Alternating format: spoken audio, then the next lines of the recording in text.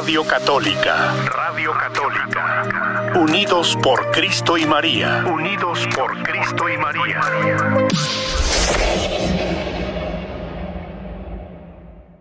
José, con su bonito programa, tomando café, compartiendo la fe, tomando café con el diácono José. Muy bien, bienvenido, hermano José. Gracias, gracias. Buenos días a todos. Qué alegría que estamos con vida para disfrutar de este hermoso día que el Señor nos ha regalado, que el Señor nos ha dado para darle honor y gloria a lo largo de todo el día. Con ese gozo de los hijos de Dios, con ese gozo para el cual hemos sido creados por el amor de Dios. Mis amigos, hoy estamos compartiendo la fe, tomando café con el diácono José. Espero que ustedes tengan su cafecito a la mano para que podamos eh, tener esta conversación, este diálogo y esta ah, enseñanza que comenzamos la semana pasada con un documento que para muchos les causa un poco de, de confusión porque es acerca de la relación de la iglesia con las demás iglesias cristianas, la iglesia católica con las demás iglesias cristianas. Y la semana pasada comenzamos a leer este documento que se llama eh, Unitatis Redintegratio, es decir, promoviendo la restauración de la unidad entre todos los cristianos es un decreto sobre el ecumenismo, es la palabra que se ocupa, ecumenismo. Y habría el documento diciendo, promover la restauración de la unidad entre todos los cristianos es uno de los fines principales que se ha propuesto el Sacrosanto Concilio Vaticano II. Y eso fue lo que empezamos a, a ver la semana pasada que pues, de nuevo no dejó de eh, generar un poco de, controversia, por decir así, un poco de, confusión a lo mejor, que no es algo que estemos acostumbrados en la iglesia a, a escuchar. Pero yo les decía la semana pasada este es un documento conciliar, es decir, un documento del Concilio Vaticano II. No es, no es cosa mía, no son ideas mías, es, enseñanza de la Iglesia. Bien, vamos a continuar donde nos quedamos la semana pasada. Y dice por acá, estamos todavía en el, en el, en el artículo 3 del documento. Efectivamente, por causa de las varias discrepancias existentes entre ellos, es decir, las iglesias separadas, y la iglesia católica, ya en cuanto a la doctrina y a veces también en cuanto a la disciplina, ya en lo relativo a la estructura de la iglesia, se interponen a la plena comunión eclesiástica no pocos obstáculos, a veces muy graves, que el movimiento ecumenista trata de superar. Es decir, la iglesia reconoce que son muchas las cosas que bloquean la unión entre las iglesias, ¿verdad? Muchas veces por disciplina, muchas veces por doctrina, muchas veces por la eh, estructura de la iglesia, que son las cosas que se oponen. Sin embargo, fíjense, esto es muy importante, sin embargo, justificados por la fe en el bautismo, quedan incorporados a Cristo. ¿Quiénes? Nuestros hermanos protestantes, nuestros hermanos separados. Quedan incorporados a Cristo. Por tanto, reciben el nombre de cristianos con todo derecho y justamente son reconocidos como hermanos en el Señor por los hijos de la Iglesia Católica. Es decir, son nuestros hermanos en el Señor. Bien clarito lo dicen los padres conciliares. Dice el siguiente párrafo, es más, de entre el conjunto de elementos o bienes con que la iglesia se edifica y vive, algunos, o mejor, muchísimos y muy importantes pueden encontrarse fuera del recinto visible de la Iglesia Católica. Es decir, que muchas de las cosas esenciales para vivir nuestra fe pueden encontrarse fuera de la Iglesia Católica. Por ejemplo, menciona aquí algunos este documento, la palabra de Dios escrita. Ellos también escuchan la palabra de Dios. Y de hecho, muchas iglesias separadas siguen el mismo calendario litúrgico de la Iglesia Católica para seguir el ciclo de las lecturas. Otras iglesias no, pero de todas maneras escuchan la palabra de Dios, la palabra de Dios escrita. La vida de la gracia, la fe, la esperanza y la caridad. Esa vida de gracia, fe, esperanza y caridad se mira y son testimonio nuestros hermanos cristianos de esa vida de gracia, fe, esperanza y caridad algunos dones interiores del Espíritu Santo y elementos visibles todos estos dones del Espíritu Santo que se manifiestan en nuestros hermanos separados, todo esto proviene de Cristo y a Él conduce. Es decir, viene de Cristo y nos lleva a Cristo. Por eso pertenece por derecho a la única iglesia de Cristo, la única iglesia de Cristo. Los hermanos separados, continúa el documento, practican no pocos actos de culto de la religión cristiana, los cuales de varias formas, según la diversa condición de cada iglesia o comunidad, pueden, sin duda alguna, producir la vida de la gracia. Y hay que confesar que son actos para dejar abierto el acceso a la comunión de la salvación.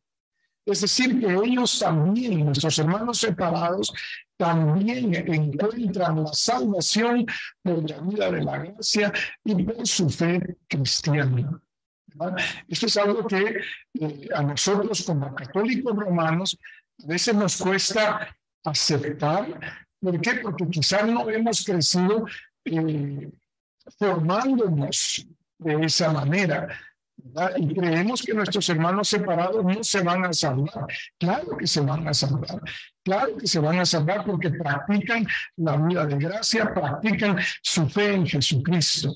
Entonces la salvación, dice aquí, dejan abierto el acceso a la comunión de la salvación. ¿Verdad, mis hermanos? Para que empiecen a hacer sus llamadas, empiecen a hacer preguntas para que vayamos haciendo de este programa un programa dinámico, un programa eh, interactivo con ustedes. Tomando café, mis queridos. Así es. A ver, yo tengo una pregunta sobre esto que acaba de decir. Dice que inclusive algunas iglesias siguen el mismo ciclo cuando celebran su culto igual que nosotros. ¿Se está refiriendo usted a las iglesias antiguas? No, iglesias protestantes. Las iglesias protestantes, los protestantes pues son las reformadas cuando Lutero, pero sí, son la, la, la, anglicana sigue un, un rito parecido. Para la anglicana no se separó por Lutero. La anglicana se separó porque el rey de Inglaterra quería casarse y la iglesia no le daba la relación al matrimonio. Entonces, pues es en el mismo tiempo de la reforma, sale Lutero, sale Enrique, sale Zwingli, todos ellos. Pero hay algunas que, pues, que, que, sí siguen como el episcopal, la episcopal, pero también algunas que no son de las, de las grandes. Eh, también hay, hay algunas iglesias que siguen con el mismo eh, orden de la, de la, de la liturgia de la palabra leen los mismos evangelios también. Los evangelios, las mismas lecturas, todo eso. ¿Por qué? Porque está ordenada. Sí, sí. Ese es lo hermoso de la, lo hermoso de la liturgia de la palabra, que la iglesia la ha ordenado en ciclos, en fiestas y todo eso. Puede que algunos de ellos, fíjense, algunos de ellos celebran a los santos también. Algunos de ellos celebran las fiestas de los santos. Por eso continúan con ese calendario litúrgico. Por ahí hay una iglesita, este, una, la parroquia chiquita de San Juan Bautista y es anglicana, es católica. Entonces, sí, sí, este, pero este, los, el, como este, evangélicos, apostólicos, eh, muchos de ellos no siguen ese no, no, muchos de ellos eh, tienen sí, sí, sí. la ley a, a, lo que el pastor eh, siempre el llamado en el día que la va a hacer. Qué buena inspiración. Sí. Pero de todas maneras, inclusive debemos observar una cosa nosotros como católicos, que la iglesia se siente responsable de todos los cristianos, católicos, no católicos, pero son cristianos. Fíjese cómo abre el Papa Francisco su uh, exhortación apostólica en la gracia, la alegría del Evangelio. Empieza hablando para los sacerdotes, para los cardenales, para eso, y para todos los cristianos Ahí no dice para católicos únicamente, dice para todos los cristianos. Es decir, que el Papa también tiene responsabilidad y cariño por todas las iglesias cristianas. Inclusive muchos católicos, cuando le preguntan, ¿eres católico? ¿Eres cristiano? Dicen, no, soy católico. Exacto. Ese es un error, Nosotros somos cristianos. Católico es la iglesia a la que pertenecemos, católica con C mayúscula, iglesia católica, porque católica, la iglesia católica que Cristo fundó, no fue la iglesia católica con C mayúscula, fue la iglesia católica con C minúscula, que quiere decir la iglesia universal. Esa es la que pertenecemos. Y dentro de la iglesia universal pertenecemos a la iglesia católica romana porque hay católicas también que no son las romanas, que son las iglesias de Oriente, católicas fundadas por los apóstoles también. ¿verdad? Eso ya hablamos en otra ocasión acerca de las 21, me parece que son 21 iglesias católicas, todas en comunión apostólica. ¿verdad? Bien, seguimos. Por consiguiente, aunque creamos que las iglesias y comunidades separadas tienen sus defectos, no están desprovistas de sentido y de valor en el misterio de la salvación. Porque el Espíritu de Cristo no ha rehusado servirse de ellas como medios de salvación, cuya virtud deriva de la misma plenitud de la gracia y de la verdad que se confió a la iglesia. Es decir, Puede que nosotros creamos de que las iglesias protestantes, las iglesias separadas, tienen defectos, pero aquí los hermanos, los padres conciliares nos están diciendo, pero aún así no están desprovistas del sentido y del valor del misterio de la salvación. Cristo no los ha rechazado. Claro que Cristo no los ha rechazado. Entonces, ahí es donde eh, eh, se manifiesta pues la, la gracia, la gracia. ¿verdad? Bien. Pasemos hoy al artículo 4 de este documento, que es específicamente el ecumenismo. Y dice, hoy en muchas partes del mundo, por inspiración del Espíritu Santo, se hacen muchos intentos con la oración, la palabra y la acción para llegar a aquella plenitud de unidad que quiere Jesucristo. Este sacrosanto concilio exhorta a todos los fieles católicos, católicos con minúscula, porque ahí están incluidos nosotros como católicos con C mayúscula y nuestros hermanos protestantes están incluidos entre los fieles católicos, fieles de la Iglesia Universal que reconociendo los signos de los tiempos, cooperen diligentemente en la empresa ecuménica. Por movimiento ecuménico se entiende, aquí define eh, este documento que es el movimiento ecuménico. Se entiende el conjunto de actividades y de empresas que conforme a las distintas necesidades de la iglesia y a las circunstancias de los tiempos, se suscitan y se ordenan a favorecer la unidad de los cristianos. a favorecer la unidad de los cristianos. Tales son, dice. En primer lugar, todos los intentos de eliminar palabras, juicios y actos que no sean conformes, según justicia y verdad, a la condición de los hermanos separados y que por tanto pueden hacer más difíciles las mutuas relaciones en ellos. Es decir, que debemos eliminar juicios y acciones y palabras en contra de nuestros hermanos separados. En segundo lugar, el diálogo entablado entre peritos y técnicos, es decir, entre expertos, en reuniones de cristianos de las diversas iglesias o comunidades y celebradas en espíritu religioso.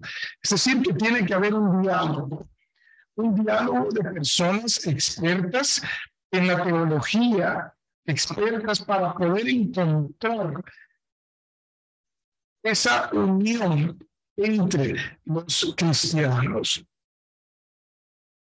En este diálogo expone cada uno por su parte, con toda profundidad, la doctrina de su comunión, presentado claramente, presentando claramente los caracteres de la misma.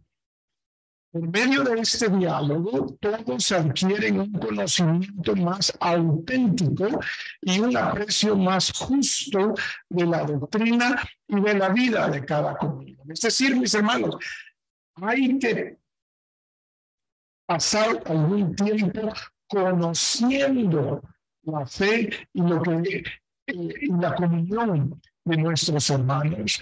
Hay que entenderlos. Con eso no quiere decir que yo tenga que cambiarme, no, pero tengo que entenderlos. Fíjese, voy a hacer una pausa en este momento acá. Eh, durante la formación de mi diaconado, en, en mis años de formación como diácono, una de mis eh, asignaciones, una de las clases que tuvimos fue precisamente ecumenismo, eso que les estoy hablando.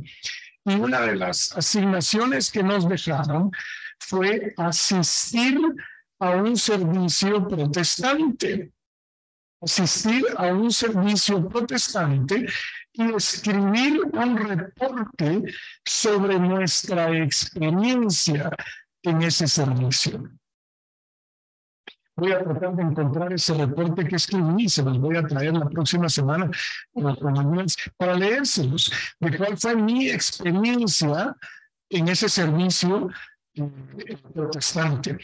Yo tenía un amigo, eh, compañero de trabajo, con el cual John, eh, John se, se, llama él, se movió para otro estado, mi contacto, no sé si eh, todavía vive no, pero éramos muy amigos y aunque él era protestante, los dos éramos cristianos, entonces podíamos compartir nuestra fe de una manera tan hermosa, tan hermosa, ¿por qué? Porque nunca tuvimos un conflicto. Por el contrario, él trataba de entender la fe católica y yo trataba de entender la fe que él profesaba. La iglesia de él quedaba en la esquina de la Coffee y la Brixton.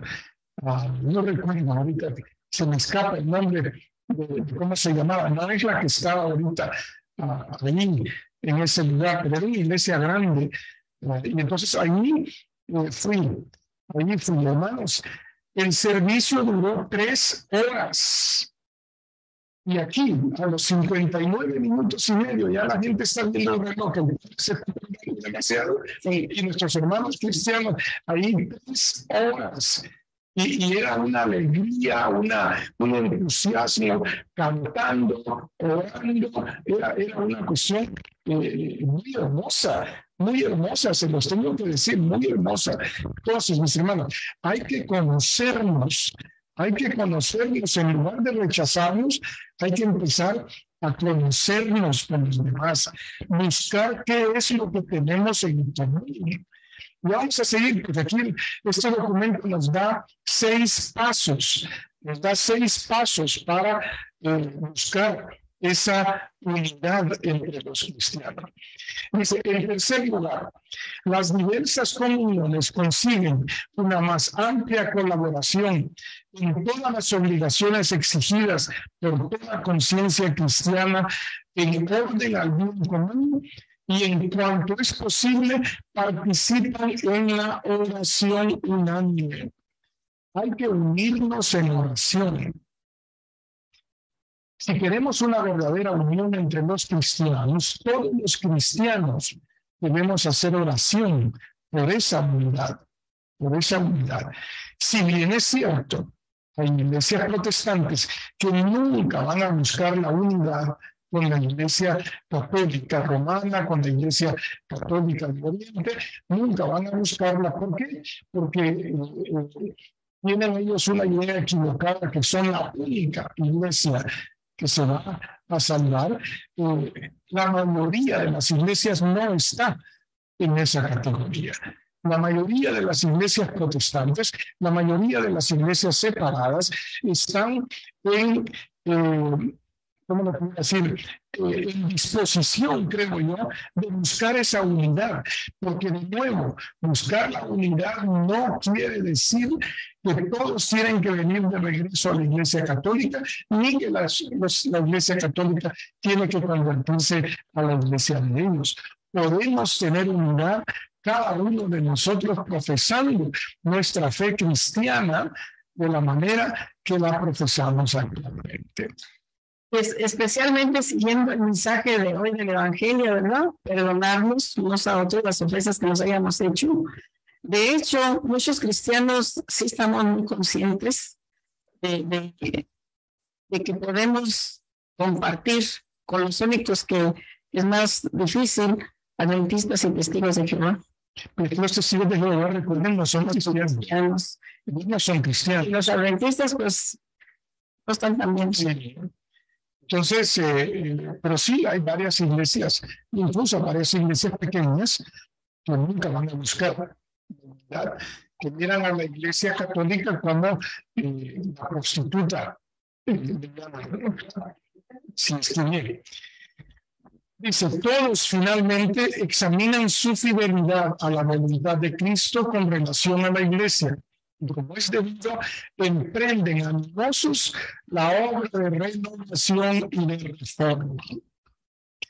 Todo esto realizado prudente y pacientemente por los fieles de la Iglesia Católica bajo la vigilancia de los pastores, conduce al bien de la equidad y de la verdad, de la concordia y de la colaboración, del amor fraterno y de la unión para que poco a poco por esta vía, superados todos los obstáculos que impiden la perfecta comunión eclesiástica, todos los cristianos se congreguen en una única celebración de la Eucaristía, en orden a la unidad de la una y única iglesia, a la unidad que Cristo dio a su iglesia desde un principio y que creemos subsiste indefectiblemente, es decir, sin defecto, en la Iglesia Católica de los siglos. Los fieles católicos han de ser, sin duda, solícitos de los hermanos separados en la acción ecumenista.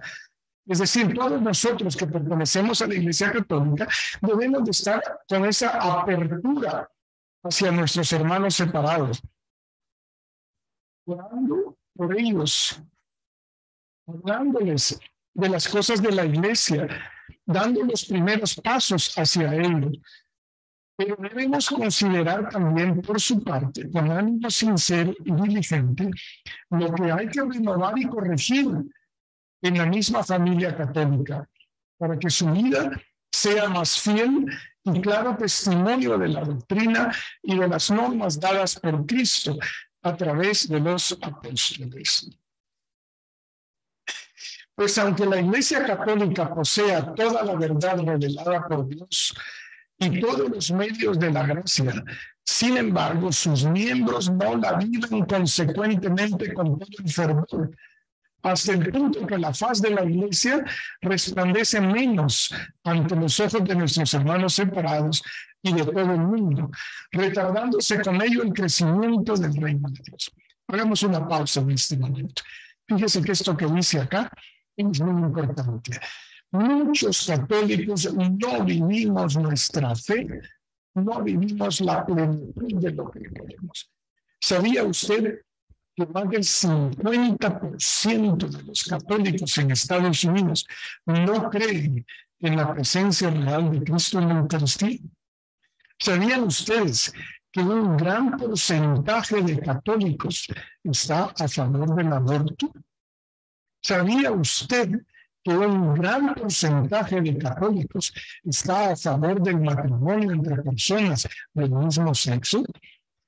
Entonces, mis hermanos, si nosotros como católicos no estamos viviendo a plenitud toda la enseñanza y la riqueza de la fe, puede que muchos de nuestros hermanos cristianos vivan su fe mucho mejor de la que nosotros como católicos la estamos viviendo.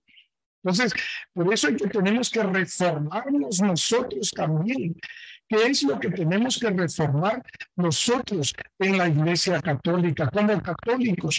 ¿Cómo podemos vivir nosotros un poco mejor nuestra propia fe? Hay otro tema que en la Iglesia Católica a los católicos nos molesta que nos, que nos hablen de ello, y es el tema de la ofrenda tema de la ofrenda. Mis hermanos separados son mucho más diligentes en su ofrenda a la iglesia de lo que somos los católicos. ¿Sabía usted que la iglesia católica está en penúltimo lugar, es decir, un lugar antes del último? En lo que damos a la iglesia como ofrenda, las iglesias protestantes ocupan los primeros lugares. Las iglesias protestantes ocupan los primeros lugares y nosotros como católicos el penúltimo lugar. ¿Por qué? Porque no salimos, la gran mayoría de gente no sale del donarito dominical, del donarito dominical, de lo que nos sobra.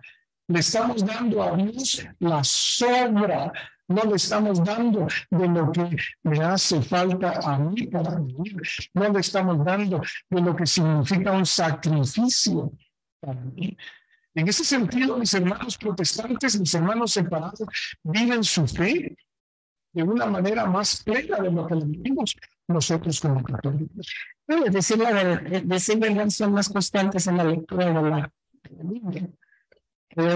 este, hay cosas que también nosotros como católicos deberíamos evitar. Sus cultos son más largos y ellos se usan en, la oración.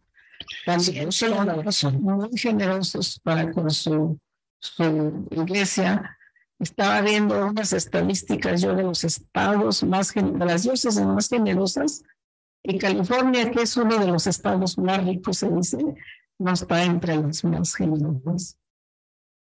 Bueno, eso las iglesias sufren económicamente, las iglesias sufrimos financieramente. Porque la comunidad no responde como responden nuestros hermanos protestantes dentro de sus comunidades. todavía no llega ningún comentario por parte de Facebook y todavía no llega ninguna eh, pregunta que nos hagan por, medio de la radio, por medio de, eh, para que nos ayuden nuestros hermanos a estar en este. Déjenme ver cómo me apago el aquí. Vamos a bajarle. Bueno, no, sí hay comentarios. Fausti nos dice buenos días, diáconos, saludos, muchas gracias. En Turlock hay una iglesia que se llama Todos los Santos. ¿Es católica, apostólica y romana? Claro que sí. La iglesia de todos los santos está en la universidad. Esa es lo que le llaman el Newman Center.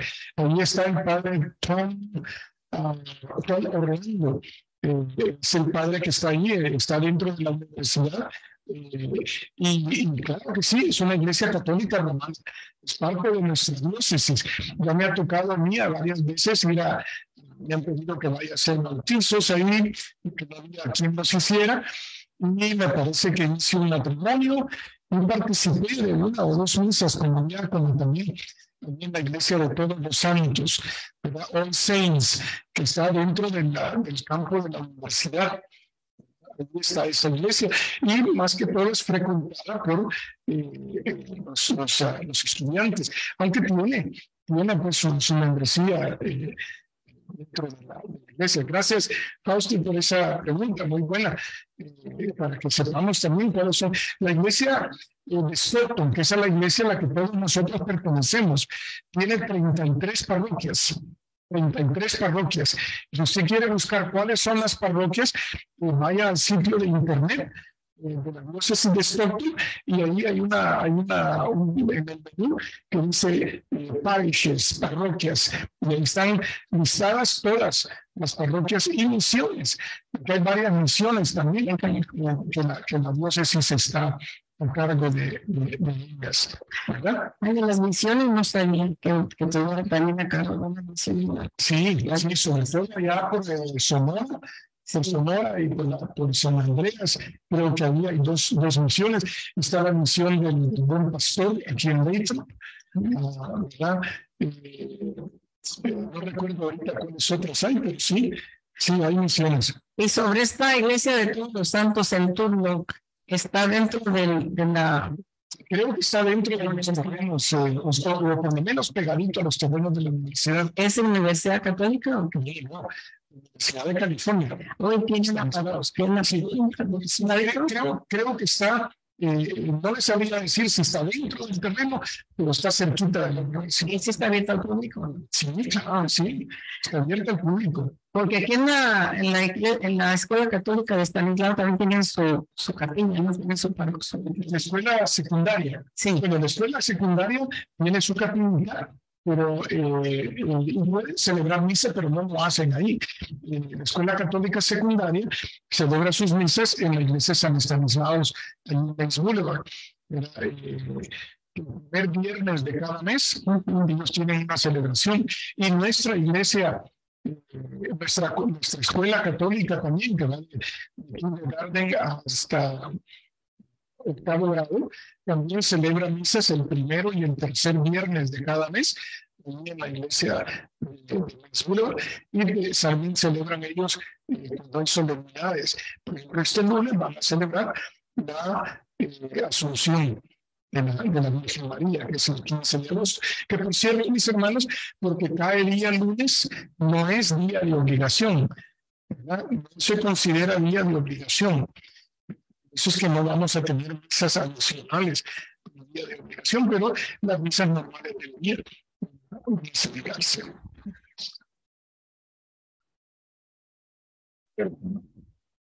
Bien. Bueno, mis hermanos, vamos a seguir. Dice, por tanto, todos los católicos deben tender a la perfección cristiana y esforzarse. Ah, gracias y esforzarse cada uno según su condición para que la iglesia, portadora de la humildad y de la pasión de Jesús en su cuerpo, se purifique y se renueve de día en día hasta que Cristo se la presente a sí mismo gloriosa, sin mancha ni arruga. Fíjense, nos invitan aquí a que todos los católicos busquemos la perfección cristiana y esforzarnos cada uno según nuestra condición para, eh, para que la iglesia portadora de la humildad y de la pasión de Jesús se purifique, para que por medio de nosotros se purifique la iglesia y pueda ser presentada gloriosa, sin mancha ni arruga. Es justo y saludable reconocer las riquezas de Cristo y las virtudes en la vida de quienes dan testimonio de Cristo. A veces hasta el derramamiento de su sangre, porque Dios es siempre admirable y digno de admiración en sus obras. Fíjese, hermano, cuando hay voluntad de buscar una unidad entre los cristianos, provee la apertura al diálogo. Hace poco les compartí que eh, el mejor amigo de un amigo mío, que tuve la oportunidad de visitarle hace poco, por suicidio, entonces estaban, estaban por eso. En mi visita, me hospedé en la casa de él por dos días y él, no es católico, es cristiano. Y tiene un grupo de estudio de la Biblia que se reúnen una vez a la semana. Y en ese estudio él les compartió antes de mi visita que yo llegaba y que yo era diácono en la iglesia católica. Mire, hermanos, a mí me, me, me conmovió lo que hicieron. ¿Por qué? Porque hicieron una lista de preguntas que querían saber acerca de la iglesia católica. Es probable que algunos de ellos hayan tenido confusiones sobre la iglesia católica. Y él tenía la lista. Cuando yo llegué me dijo, mira, aquí tengo la lista. Ojalá que en estos dos días podamos platicar de todo esto, porque queremos preguntarte, queremos conocer. Y así fue. Durante los dos días buscábamos el momento apropiado y él me hacía las preguntas. Me preguntaron sobre eh, la reconciliación, el sacramento de la confesión, me preguntaron sobre la Virgen María, me preguntaron eh, sobre por qué los sacerdotes no pueden casarse. Eh, en fin, eran, eran bastantes las preguntas y él anotaba, muy entusiasmado, escribía él las respuestas que yo le iba dando a todas sus preguntas. Y él lo compartió después con sus hermanos, con sus, con sus eh, amigos después de la, de la iglesia protestante. Y hemos quedado que la próxima vez que yo vaya por allá, me van a invitar a participar de su grupo, para que ahí podamos tener un diálogo y podamos orar juntos sobre todo. Practicando el ecumenismo. Practicando el ecumenismo. Me he mandado a él videos de cuando eh, en inglés, se lo mando y él los ha compartido con sus amigos eh, en el estudio que ellos tienen. Han compartido pues esa, esa homilía y han escuchado eh, las homilías que he dado. Oh, qué bien. ¿Dónde se conocieron, dice? Fíjese que nos conocimos por cuestión de negocios. digo de negocios, en la compañía donde yo trabajaba, él trabajaba con una compañía que yo contraté para desarrollar un programa de computadora modesto donde yo trabajaba y él era, él era, digamos, el vendedor de la compañía. Entonces con él fue el primero que yo tuve tratos nos hicimos muy amigos. Eh, teníamos un intercambio, él me mandaba queso y salchichas y yo le mandaba de California. Y así pues, fue como fuimos creciendo en, la, en, que a pesar de la distancia, eh, una vez al año nunca falta la tarjeta de Navidad que él me manda eh, de felicitaciones, deseándonos feliz Navidad, nunca falta dos o tres veces al año que nos mandamos un texto, eh, y cuando yo sabía que iba a ir a Milwaukee a un retiro, me escribí, pues, y, no, muy contento, me fue a recoger el aeropuerto. Mi esposa me llevó a la casa de retiro. Yo iba a estar por una semana y, la esposa me fue a recoger también de la casa de retiro. Ya me estuve con ella los últimos dos días. Sí. ¿A qué, a qué este, iglesia pertenece? Um, eso sí no les sabría, sino que es una iglesia pequeña. Una iglesia pequeña. Y este es un, testimonio para animar asperezas unos y otros como cristianos. Decía el Papa Juan XXIII que entre nosotros los cristianos es más lo que nos une que lo que nos separa. Vamos a ver, aquí Fausti nos tiene otra pregunta. Dice, diácono, a mi sobrina le bautizaron a sus tres niños sin padrinos me dijeron que los padrinos no eran necesarios. Um, los bautizaron en la Iglesia Católica Romana. Si los bautizaron en la Iglesia Católica Romana, sí es eh, requerido tener un padrino, menos un padrino. No se puede bautizar sin padrino. ¿En qué parroquia se No sé, pero menciona Fausti acá. Eh, sí tendría que haber tenido. Vero, muy buenos días. Gracias por sus saludos y gracias por siempre estar escuchando este programa. Espero que estén tomando cafecito. Dios mío, ya me lo acabé. Creo que ya vamos llegando a la hora. No sé qué hora son. Nos quedan cinco minutos. Nos quedan como cinco minutos. A la próxima semana vamos a seguir con el capítulo 2 de este documento de, Vaticano II y eh, vamos a, a poner ya lo que dice la práctica del ecumenismo, que es donde están ya los pasos que yo les decía que la iglesia ofrece. Ayer usted me mandó una pregunta por texto, me parece. No fue usted.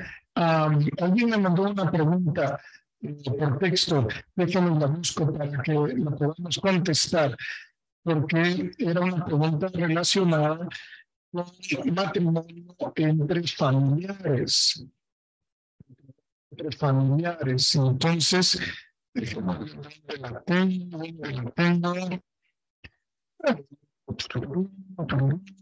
Me si dentro de la iglesia era permitida si dentro de la iglesia era permitida una relación, no sé si me parecía que decían entre un tío y sobrina. No que buscarla, la hable un poquito usted mientras la. Usted mientras usted la sigue buscando, pues sobre el ecumenismo que nos está hablando el diácono está muy interesante para todos nosotros, que a veces tenemos recelo, pero con amor todo se puede.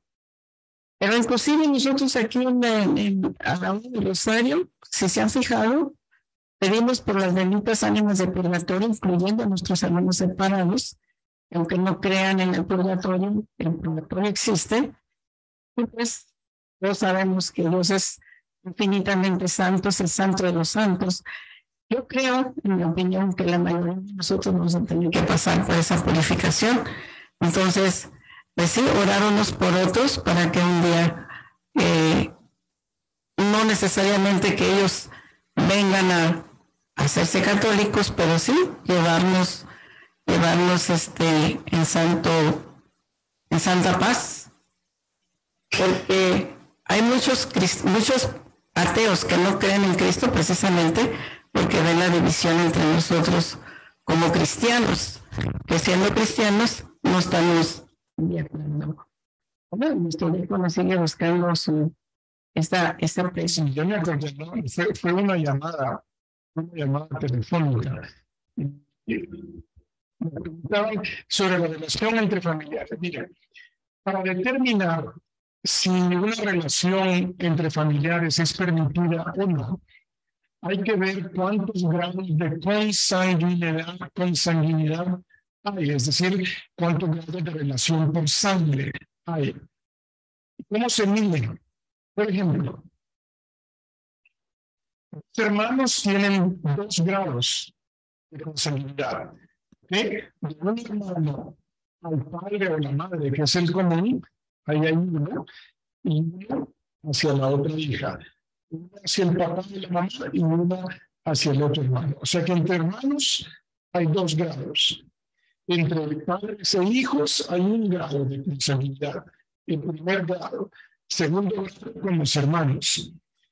Entonces, ¿cómo sería con, con una hija de mi hermana, por ejemplo? Con una hija de mi hermana. Entonces, primero va desde mi posición hasta el padre en común, un grado. Hacia mi hermana, dos. Hacia la hija de mi hermana, tres. Ese sería el tercer grado. En la Iglesia Católica no se permite la relación entre personas hasta el cuarto grado de consanguinidad. Es decir, hasta el cuarto grado no se permite la relación. Quiere decir que entre primos hermanos, y están los hermanos, no están permitidos. Eso sería en cuarto. Eso sería en cuarto. A veces se ha sucedido con permiso, ¿no? Sí, hay que pedir permiso. En caso, eh, en caso eh, pueden, solicitar permiso. No sé si esos permisos ya los puede otorgar como visto, pero antes estaban reservados solo para el Papa. Yo conocí una pareja en El Salvador, tío y sobrina se enamoraron y tuvieron que pedirle permiso al Papa para poderse casar. Y en esa ocasión sí se los, sí se los otorgó, no sé yo cuáles eran las circunstancias. Pero sí, hasta el cuarto grado de consanguinidad no se puede, eh, no se permite dentro de la iglesia. Aparte que puede haber este efectos, este, la cercanía de los hijos, ¿no? Que Sí, sí. Eso hay un dicho, no, no, no, no, es un dicho así popular, pero medio ya, entre primos y parientes, dice el amor es más ardiente y los hijos más enclenques.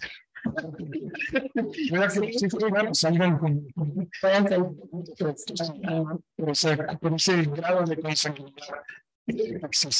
Hasta el cuarto grado no se permite. No sé si todavía, eh, de todas maneras, cuando se van a casar siempre se hace un examen médico. Es para eso. No, ya no se hace, pero en las entrevistas se hace la pregunta que si son parientes, que si son. Y, y a los testigos se les pregunta también si son, si saben ellos si ellos son parientes o no.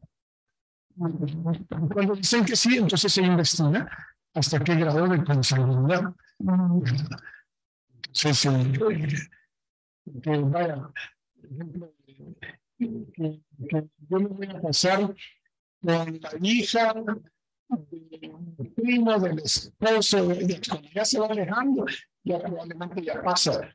Es mejor así porque así hay más respeto, no se ve una diferencia entre familia, no Sí. una diferencia de una conquista. Y esto se aplica a familias adoptadas. También, También se aplica a familias adoptadas. sí, porque por ahí hay un artista que adoptaron una niña filipina y después se casó con ella. Y se ve feo de todas Sí, no, claro que eso no es apropiado. Dentro de la iglesia eso no, no porque aún eh, la, la- la relación de adopción, porque podrían decir, papá y mamá se casaron, cada uno de ellos ya tenía hijos y hay un hermano, eh, eh, eh, hermano, hermanastro, Hermanastros. y una hermanastra que se enamoran, pues no pueden tener, no pueden, porque hay una relación de adopción, Sí. ¿verdad? Por adopción. Entonces, eh, eh, no se puede. Y por ejemplo, si mi mamá se casa y, y su esposo de mi mamá tiene, se casan por segunda vez, tiene hijos y se enamoran entre hermanastros. Se puede. No se puede, es el caso que le estaba diciendo ahorita. No se puede, ¿por qué? Porque eh, es- es- es- estarían en el mismo eh, segundo grado de, de consanguinidad por adopción, por adopción, por, por- matrimonio, pues por, Si aprende siempre eso, sí lo sabías. Sí. No, pues, no, no lo permite la iglesia. Parece que en unos, en un país de por allá de Sudamérica este es, no es, común casarse entre familia, a lo mejor muy cercana. Me parece que en Argentina. Sí, déjenme ver si no tenemos algún otro mensajito más por ahí. Bueno, pues ya, esto vamos a, a ir terminando nuestro programa. El último fue eh, el concurso de los tres niños sin padrino. Luego, Fausti, si gusta, llámeme a la oficina de las parroquias 209-524-4381 y ahí podemos platicar un poco más de este caso. Y luego eh, teníamos el saludo de ver, fueron los últimos de Facebook. Y los amigos de la radio están calladitos, no nos han querido llamar con sus preguntas.